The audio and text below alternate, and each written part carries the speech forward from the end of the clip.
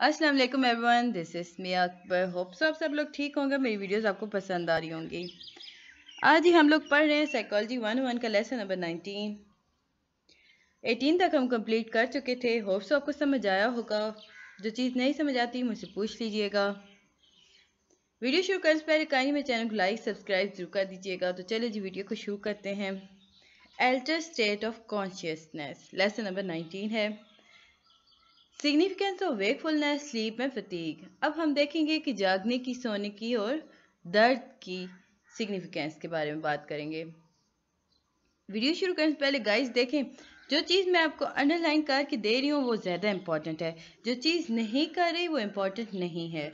ये it is on experience based मतलब मैं अपने एक्सपीरियंस से जो बिल्कुल ठीक चल रहा है, उस अकॉर्डिंग आपको बताती हूँ ताकि आप लोग आराम से कर सकें। देखें, जिस पूरे टॉपिक को मैंने अंडरलाइन किया है significance of wakefulness sleep and fatigue ये पूरा टॉपिक अब अंडरलाइन हो चुका है। इसका मतलब है कि क्वेश्चन वाइज इंपॉर्टेंट है। बेसिकली जिन चीज़ों को मैं अंडरलाइन करती हूँ, या तो एम सी क्यूज रिलेटेड होती हैं, या शॉर्ट क्वेश्चन और जिनके पूरे टॉपिक को अंडरलाइन करती हूँ, वो लॉन्ग क्वेश्चन वाइज होते हैं। यानी कि सारा कुछ मेरी एक ही वीडियो में आपको मिल जाता है। आप सिंपल मेरी वीडियो देखें तो आप इन ताला ए प्लस लेंगे। अब हम देखते हैं जी wakefulness is the productive part of our life यहाँ कहा गया कि जो वेकफुलनेस जागना होता है एक खास प्रोडक्टिव पार्ट है हमारी ज़िंदगी का। इसी तरह अगर हम बात करें सोने की तो वो भी एक असेंशियल एस्पेक्ट्स हैं। जब हम जागते हैं तो हम कंज्यूम करते हैं अपनी फ़िज़िकल एनर्जी को। और फिर कुछ देर बाद हम एक्सपीरियंस करते हैं फतीक को, क्योंकि अगर एनर्जी कंज्यूम हो रही है ना तो फिर फतीक भी अक्कर हो रहा है। All these are the phases of consciousness यानी कि ये कहा गया कि देखें, ये तीनों जो हैं, ये वेरियस फेसेस ऑफ़ कॉन्शियसनेस हैं। Psychologist agree that we may experience different state of consciousness at different time of the day अब साइकोलॉजिस्ट का ख्याल था या उन्हें यकीन था कि हम लोग डिफरेंट एक्सपीरियंस करते हैं, यानी कि कभी जागने के, कभी सोने के, दर्द के, दिन के मुख्तलिफ़ अवकात में।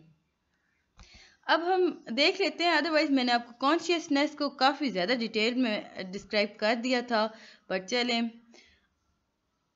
Consciousness the awareness of sensation अब कॉन्शियसनेस बेसिकली होता क्या है?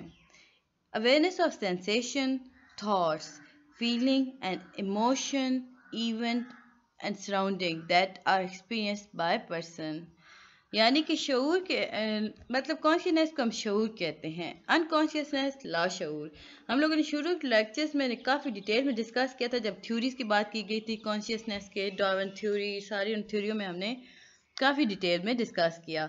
अब यहाँ बताया गया कि जब आप आगाह होते हैं अपनी सेंसेशन के साथ, अपनी थाट के साथ, आप फील कर रहे होते हैं आप इमोशनली फील कर रहे होते हैं, आप इवेंट्स को देख रहे होते हैं, जो अक्कर हो रहे होते हैं इवेंट्स या अपने आसपास के एनवायरनमेंट को भी आप देख रहे होते हैं, हर चीज़ को जब आप एक्सपेरिमेंट करते हैं या एक्सपीरियंस करते हैं तो उसे हम कॉन्शियसनेस कहते हैं। बेसिकली हम कह सकते हैं कि consciousness is the subjective experience क्या है ये सब्जेक्टिव एक्सपीरियंस है? And understanding of both the environment around our private internal world and observable to outside and us. अब कहा गया कि कॉन्शियसनेस जो है वो सब्जेक्टिव एक्सपीरियंस के तौर पर लिया जा सकता है। सब्जेक्टिव यानी कि इंसान जिस पर एक्सपेरिमेंट हो रहा होता है। और ये अब इसमें होता क्या है? इसमें इंसान समझता है अपने आसपास के अराउंडिंग या सर्वाइव इन्वायरमेंट को वो देखते हैं कि क्या हो रहा है और फिर उसे अपनी इंटरनल वर्ड यानी प्राइवेट इंटरनल वर्ड के साथ करता है बैलेंस करता है या चेक करता है या उसे सिमिलर चेक करता है। एक स्पेसिफिक उर्दू का वर्ड होता है अब मेरे जहन में नहीं आ रहा था। आ, वो करता है ना ओके गाइस वो मेरे जहन में नहीं आ रहा मैं आपको बता दूँगी आगे चल के। तो इसके बाद हम पढ़ते हैं जी the nature of consciousness span several dimension कितनी डायमेंशन होंगी? यहाँ सेवरल डायमेंशन होती हैं। It can range from our perception while wide wake awake of the dream we have during sleep, with which variation and how aware we are outside stimuli.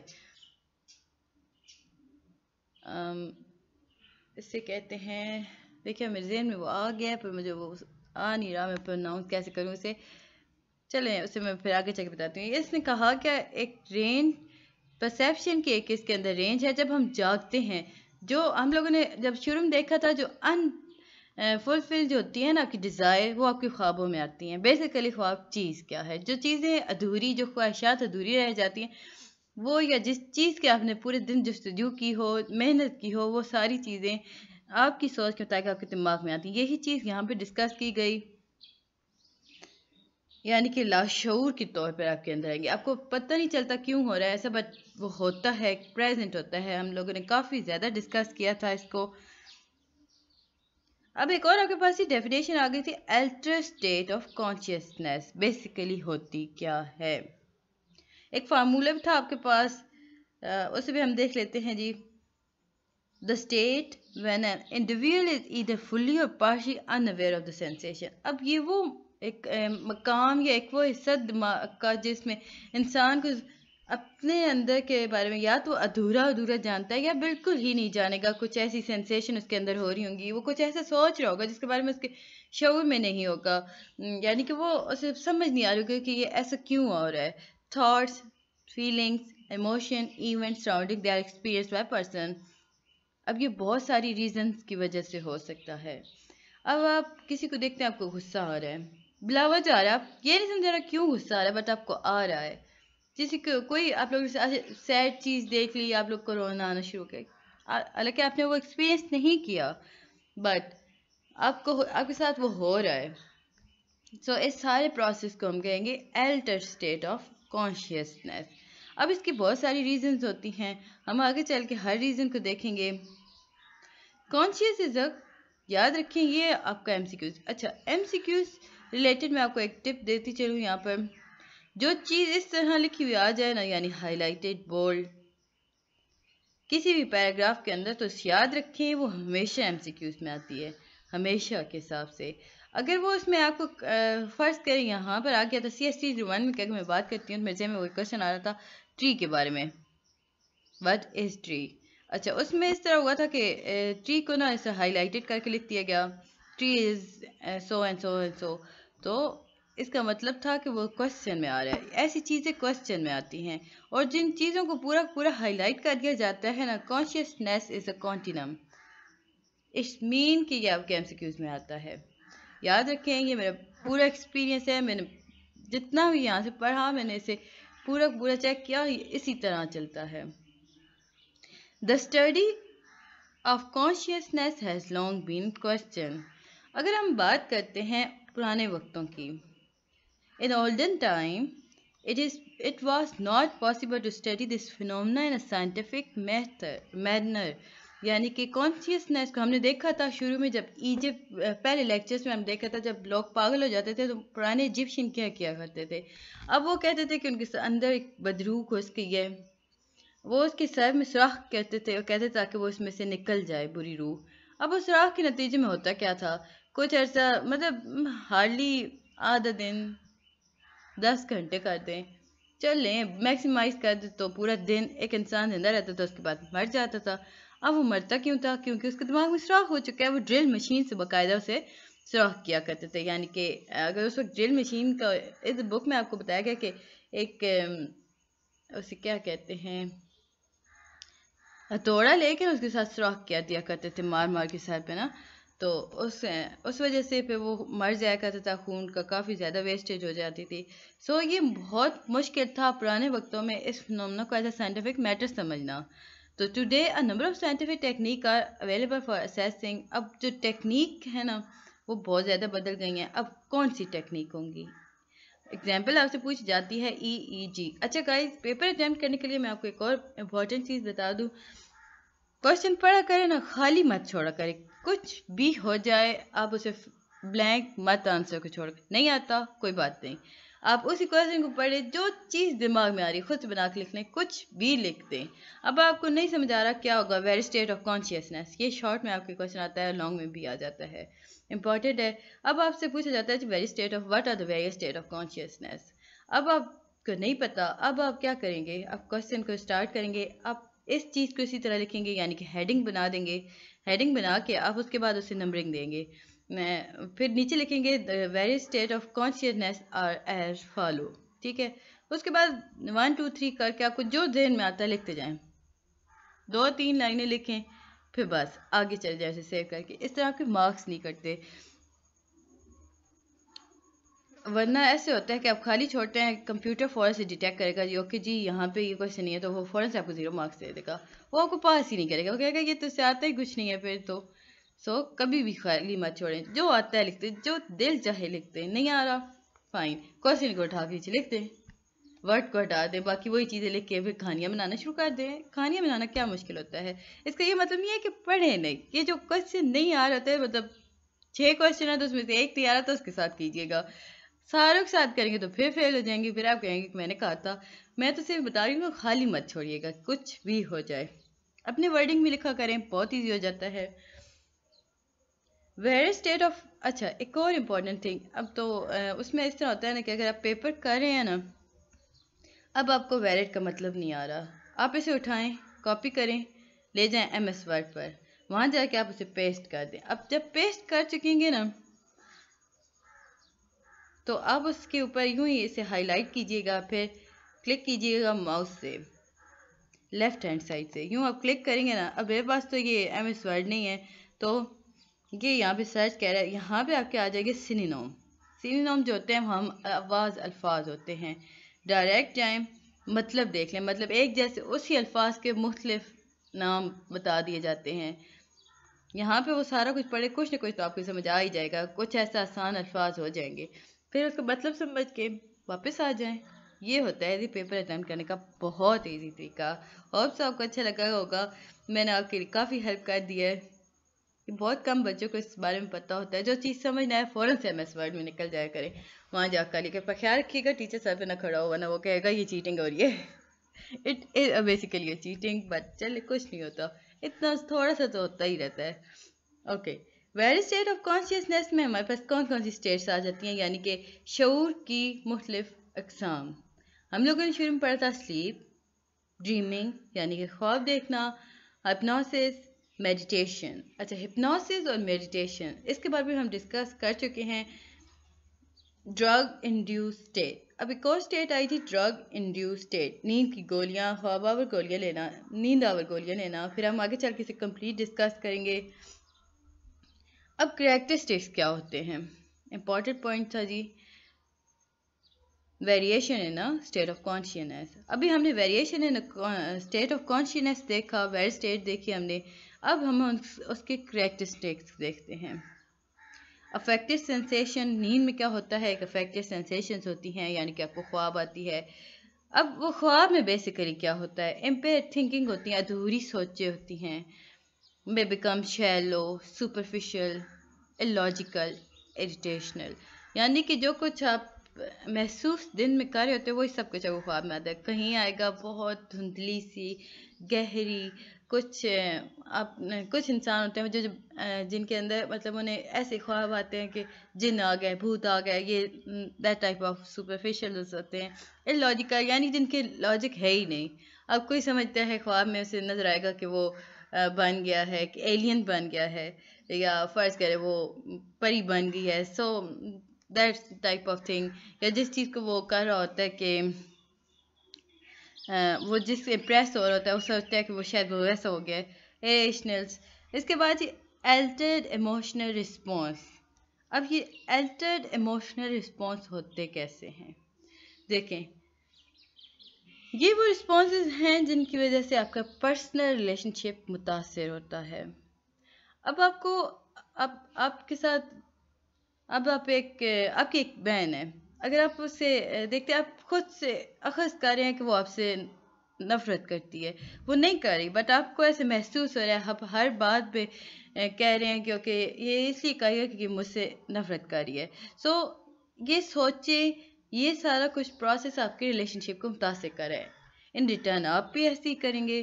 तो ये इस तरह की एग्जांपल है जी। एबनॉर्मल परसेप्शनल परसेप्चुअल प्रोसेसिंग अब इसमें होता क्या है? इसमें स्पेस और sense of time and space में सफ़र अब इसमें आपको टाइम का नहीं पता चलता मतलब गैप्स का नहीं पता चलता। इम्पेयर साइकोलॉजिकल प्रोसेस अब हम देखते हैं जी स्लीप बेसिकली चीज़ क्या है a state of total and partial हमने शुरू में देखा था, एक ऐसी स्टेट जिसमें या तो कंप्लीट या अधूरा जागना अब ये कहाँ से कहाँ तक रेंज करेगा ranging from slight wakefulness to light tranquillity to nearly total detachment from the external world. Sleep is a time of rest and regeneration of the body. The muscles and nerves relax. अब sleep में होता क्या है? Muscles nerves relax करते हैं। Body जो होती है वो रिचार्ज होती है। क्योंकि जब सारा दिन हम काम करते हैं तो बॉडी को जब आराम मिलता है तो वो रिचार्ज होना शुरू कर देती है। ओके okay, अब आपके पास स्टेजेस ऑफ़ स्लीप आ गई। काफ़ी इंपॉर्टेंट था। लेक्चर नंबर नाइनटीन आपका लॉन्ग क्वेश्चन वाइज काफ़ी इंपॉर्टेंट है। स्टेजेस ऑफ़ स्लीप में बेसिकली कौन कौन स्टेजेस आएँगी? Stage one two three four four stages हैं। अब हम देखते हैं उन स्टेजेस में बेसिकली हो क्या रहा होता है। पहले हम देख लेते हैं जी, ये जो स्टेजेस होती हैं, ये कंप्लीट करती हैं cycle about ninety minute duration each ये एम में भी आ सकता है नाइन्टी मिनट का ड्यूरेशन होता है हर स्टेज का। या इन सारी स्टेजेस को कंप्लीट होने में 90 मिनट ज़रूर, ज़रूरत होते हैं। The person passes through regular transition between these stages the sleep become less and less deep as the night passes. अब जब इंसान उम्र के मतलब गुजरता जाता है तो ऐसे होता है कि उसे कम, उसकी जो नींद होती है, वो कम होती जाती है, होती जाती है, होती जाती है। मतलब अब आप लोग देखेंगे, जो बुज़ुर्ग होते हैं, उन्हें रात को नींद नहीं आती। क्यों नहीं आती? क्योंकि उनके अंदर वो ड्यूरेशन ख़त्म होता जा रहा है, यानी कम होता जा रहा है। The stages can be study through an अब ये कहाँ से पढ़ी जा सकती है? इन स्टेजेस के बारे में हम कैसे पढ़ सकते हैं? इलेक्ट्रो एनसी पेलोग्राम पेलोग्राम अब इसमें ये एब्रीवेशन है ई ई जी अच्छा गाइस इस दफ़ा एब्रीवेशन आपके एमसीक्यूज में बहुत ज़्यादा आ रही हैं तो एब्रीवेशन को बिल्कुल क्लियर कट याद रखें, यानी कि आपको उंगलियों पर आना चाहिए। वो ऐसे आपको नहीं देंगे कि डिफरेंट डिफरेंट एक ही चीज़ के एब्रीवेशन को अल्फाज के वर्डिंग में चेंजेस ला देंगे स्पेलिंग में इवन चेंजेस ला देते हैं। तो याद रखिएगा, अब ई जी बेसिकली होता क्या है? ये एक अप्रेटस होता है या मशीन होती है जो मैया करती है रिकॉर्ड करती है और डिस्प्ले करती है इलेक्ट्रिकल इलेक्ट्रिकल एक्टिविटी को जो कि हमारे दिमाग में हो रही होती है।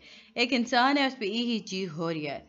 ई सी जी और ई ई जी अब ई बेसिकली ब्रेन के बारे में होगी तो ये एक मशीन होती है, या इसे हम अपरेटस भी कह सकते हैं। अब इसमें होता क्या है, इंसान के जो दिमाग के अंदर इलेक्ट्रिकल एक्टिविटी हो रही होती है ना, उसे ये मशीन मैयर करेगी, फिर रिकॉर्ड करेगी, फिर डिस्प्ले करेगी। अब इसमें ब्रेन वेव एक्टिविटी और electrical charges is recorded in the form of graphical pattern अब ब्रेन जो ब्रेन के अंदर जो वेव्स घूम रही होती हैं, उनकी एक्टिविटी को ये रिकॉर्ड करती है या इलेक्ट्रिकल हम उन्हें हम उन्हें इलेक्ट्रिकल चार्जेस भी कह सकते हैं। अब इन्हें रिकॉर्ड करती है इस तरह ग्राफिक पैटर्न के through stage one sleep the initial stage one with one is transition between wakefulness and sleep the brain wave during this phase are quite rapid and low voltage in the beginning of the stage one does not dream are the photographic like image may appear Heart rate is elevated or irregular, breathing is rapid and blood pressure high. Rapid eye movement take place. अच्छा अब जो लोग ख्वाबों में डरते हैं basically stage one में वो स्लीप आती है अब इसमें होता है इस तरह कि इंसान जो होता है वो मतलब दरमियान में होता है वो जाग भी रहा होता है वो सो भी रहा होता है एक ऐसा टाइम जिसमें वो महसूस करे जो ख्वाब देख रहा है उसे अपने ऊपर महसूस करे आप लोगों ने फील किया होगा कुछ ख्वाब ऐसे होते हैं जिन्हें आप देख के आपको ऐसा लग रहा होता है वो आपके ऊपर आप भूल जाते हैं कि आप सो रहे हैं ऐसे ख्वाब जिनकी, जिन्हें देखकर आपको हकीकत का गुमान हो, उसे हम स्लीप स्टेज वन में कहेंगे। अब इसमें बेसिकली होता क्या है? इसमें जो ब्रेन वेव्स होती हैं ना, इस फ़ेज़ के अंदर वो क्वाइट रैपिड हो जाती हैं और उनके अंदर वो लो वोल्टेज प्रोड्यूस होना शुरू हो जाती है। अब इसमें वो जो आदमी जो ख्वाब देख रहा है, उसे ख्वाब नहीं नज़र आ रहा। वो मतलब उसे प्रॉपर एक ड्रीम नहीं आ रहा कि वो साथ साथ है वो धुंधले साए देख रहे हैं। यानी कि वो ब्लैक पिक्चर वो इमेज आ रहे हैं, जैसे कि एक फ़ोटोग्राफ का ब्लैक इमेज आता है हमारे पास, जिसे हम डेवलप करा सकते हैं। नेगेटिव बेसिकली नेगेटिव देख रहे होते हैं। तो इसमें होता है कि एक इंसान डर रहा होता है, उसके हार्ट रेट तेज़ होना शुरू हो जाती है, बेरिदम हो जाती है, उसकी सांस से तेज़ आना शुरू हो जाती है, उसका ब्लड प्रेशर हाई होना शुरू हो जाता है और उसकी आँखें, अगर आप देखें ना जो इंसान डर रहा होता है, उसकी आँखों, आँखें मूव कर रही होती हैं, वो बंद होती हैं बट वो मूव कर रही होती हैं रैपिड मूवमेंट वहाँ स्टार्ट हो जाती है। ये स्टेप स्टेज वन में होता है। अब स्टेज टू में क्या होता है? एक ऐसा स्टेज वन के बाद जो सेकेंड स्टेज आती है, यानी कि level of sleep deeper than stage one अब ये जो स्टेज वन से ज़रा ज़्यादा गहरी नींद की तरफ़ अब हम पढ़ रहे हैं। अब इसमें होता क्या है ये एक वेव पैटर्न के बारे में होता है, इसमें the wave pattern become more regular that may mentally show sharp peak और waves that are sharply pointed called sleep spindles if a person is a stage two it become difficult to wake him up अब इसमें होता क्या है? ऊपर तो हम डर रहे थे। अब कुछ ख्वाब ऐसे होते हैं कि आपको आ, मतलब महसूस हो रहा होता है जैसे कुछ आ, अब मैं आप इसकी क्या एग्जांपल दूँ? इसमें होता है कि इंसान को ख्वाब में ना ऐसे महसूस होता है कोई उसका गला दबा रहा है। ठीक है? अब हम देखते हैं कोई ऐसे लग रहा होता है जैसे कोई चीज़ आपके ऊपर चढ़ रही है। अब वज़न महसूस आपको हो रहा है, कोई चीज़ आ रही है और आप हिल नहीं सकते। एक ऐसा ऐसा लम्हा जब आप सो रहे हो और आपको आप हिल ना सकते हो मूवमेंट ना दे सकते हो। ये वो स्लीप होती है, ये थोड़ी सी गहरी होती है। अब बिल्कुल अब आप ख्वाब में देखें, आपके पीछे कुत्ता लग गया, ठीक है?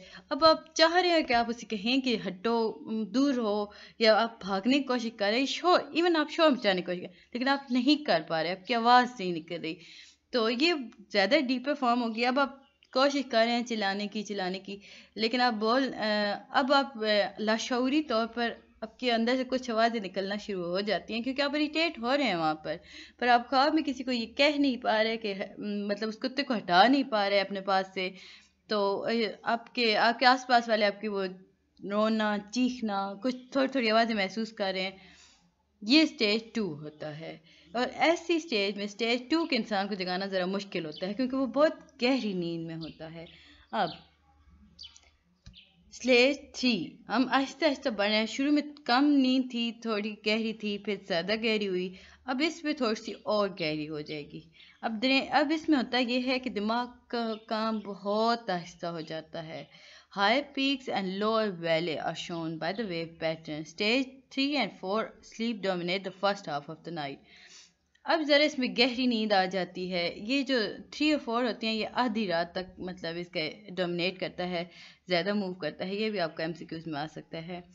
स्टेज फोर में हम देखेंगे in this stage the person is almost cut off from the external world यानी कि बेनतहा गहरी नींद। अब वो जो कहते हैं ना कि वो गद्दे घोड़े बेच के जब आदमी सो रहा होता है ढोल बजाते रहो, चीखते रहो, चिल्लाते रहो, वो नहीं उठेगा। That is in that stage यानी कि स्टेज फोर की वो स्लीप होती है। मुकम्मल, पुरसकून, गहरी नींद।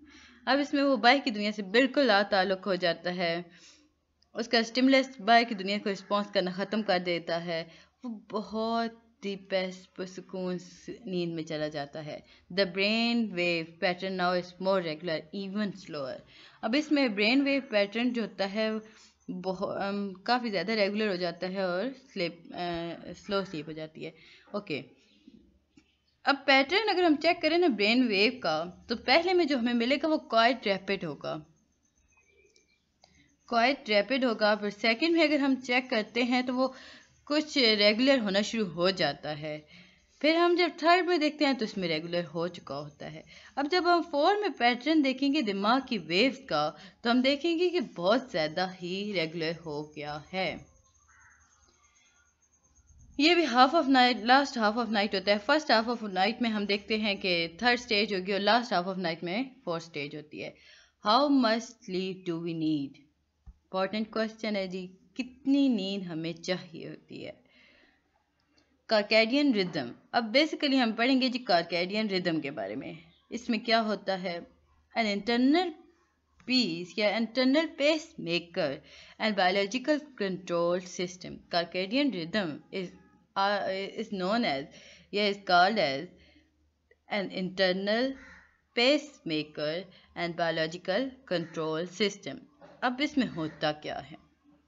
Biological process that repeatedly occur on roughly a 24 hour cycle. यानी ये एक ऐसा प्रोसेस जो खुद को रिपीट करने के साथ एक, अगर हम बात करें कि अक्कर करता है तो वो कितने घंटों के लिए? वो 24 घंटे के अंदर होगा। यानी कि स्लीप नींद body temperature etcetera circadian rhythm में vary from person to person याद रखें कि हर एक के अंदर एक जैसा नहीं होता। कुछ लोग दिन में भी सोते हैं, कुछ नहीं सोते। मुझे बताइएगा आप लोग दिन में सोते हैं या नहीं? रात को कितना जल्दी सो जाते हैं? कार्केडियन रिदम जो होता है, वो हर इंसान का मुख्तलिफ़ होता है। उसके पैटर्न्स मुख्तलिफ़ होते हैं। कुछ लोग होते हैं, उन्हें जल्दी सोने की आदत होती है, कुछ को बहुत लेट सोने की आदत होती है, कुछ दिन में सोते हैं, वही जो मैंने आपको कहा, और कुछ नहीं सोते। R E M REM REM stand for rapid eye movement sleep हमने करेक्टर स्टेज नंबर टू में देखा था कि इंसान की रैपिड आई मूवमेंट स्टार्ट हो जाती है। अब रैपिड आई मूवमेंट स्लीप में क्या होगा? ये अब काफ़ी डिस्कस कर चुके हैं, फिर भी देख लेते हैं जी।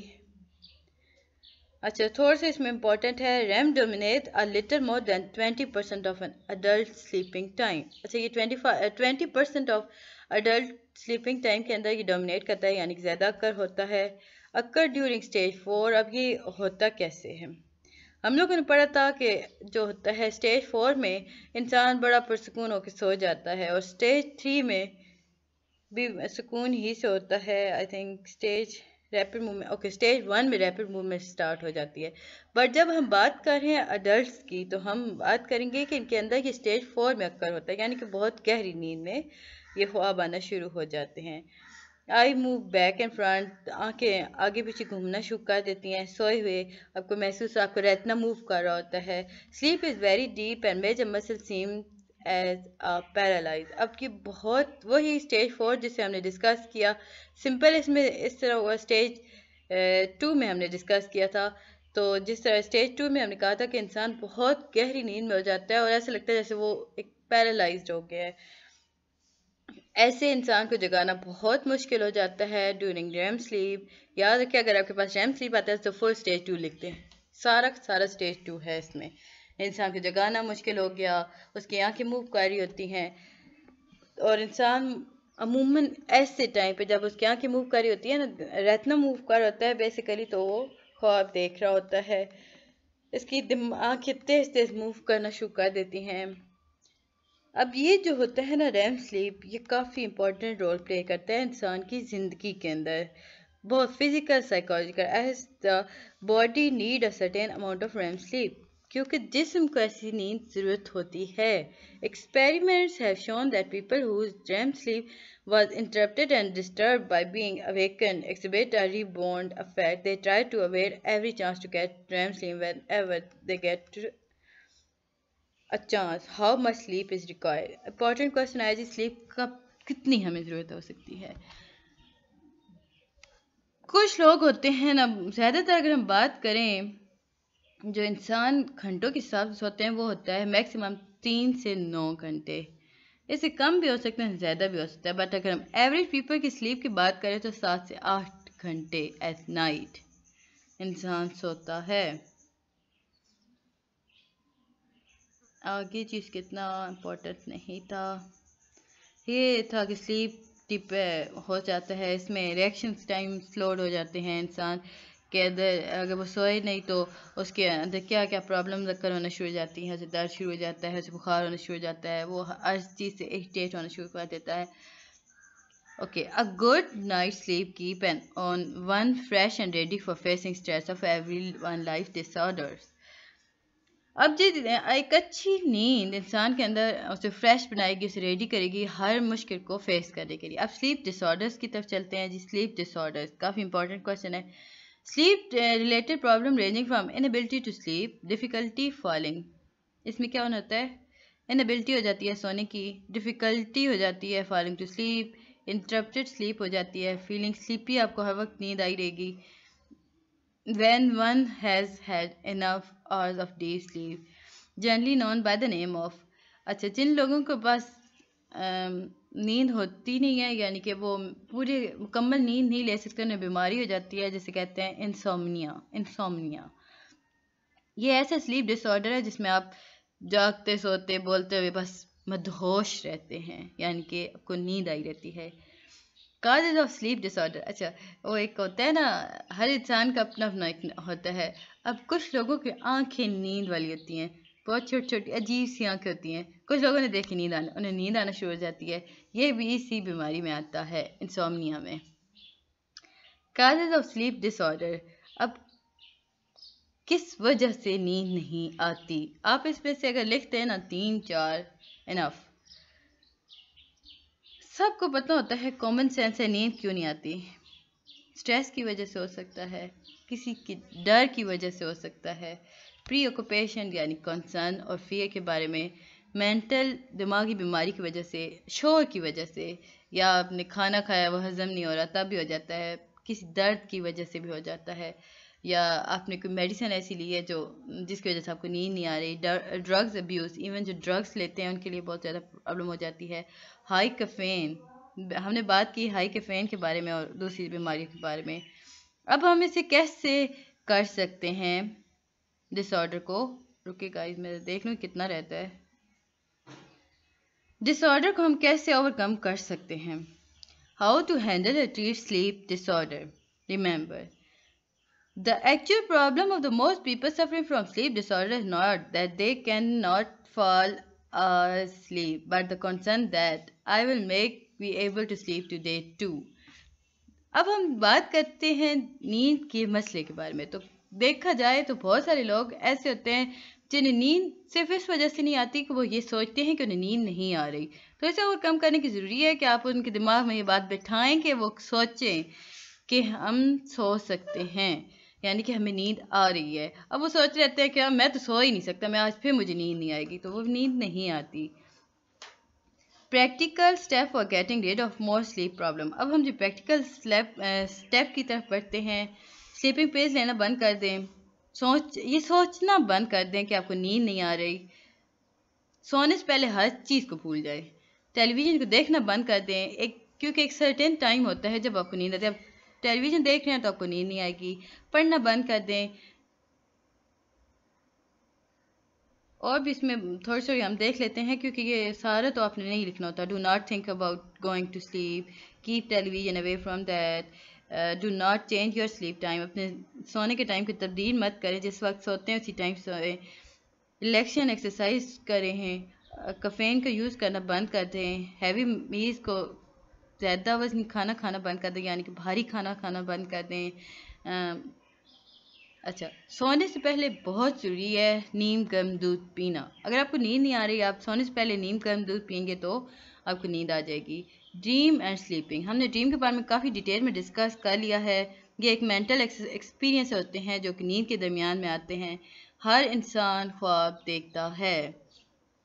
और बहुत ज़्यादा चांसेस नाइन्टी नाइन हंड्रेड में से वन परसेंट या पॉइंट फाइव परसेंट इंसान ऐसे होते हैं जिन्हें ख्वाब याद रहते हैं, वरना सारे भूल जाते हैं। वाई डू वी ड्रीम हम क्यों सोचते हैं कि हमें क्यों ख्वाब आते हैं? इसके लिए जो थ्योरीज दी गई थी। काफ़ी इंपॉर्टेंट थ्योरी हैं। Theory of unconsciousness with fulfilment Sigmund Freud की थ्योरी है। फिर हमारे पास जी रिवर्स लर्निंग थ्योरी आ गई dream for survival theory activation synthesis theory video I think काफ़ी लंबी हो गई है तो मैं तरह करूँगी कि आपके लिए सेकंड वीडियो बना दूँगी, यानी कि इसका पार्ट नंबर टू ये काफ़ी इंपॉर्टेंट लेक्चर है आपका जी लॉन्ग क्वेश्चन वाइज बेसिकली इसमें हमने सब्जेक्टिव देखा। अभी तक जो कुछ हमने डिस्कस किया, वो सारा सब्जेक्टिव वाइज था। होप तो आपको समझ आया होगा। काइंडली मेरे चैनल को लाइक सब्सक्राइब ज़रूर कीजिएगा। और पसंद आए तो कमेंट भी कीजिएगा। सिर्फ़ पसंद आने पे कमेंट ना कीजिएगा। जो चीज़ समझ नहीं आ रही वो भी कमेंट करके बता दीजिएगा। मिलते हैं जी नेक्स्ट वीडियो में। तब तक के लिए अल्लाह हाफिज़।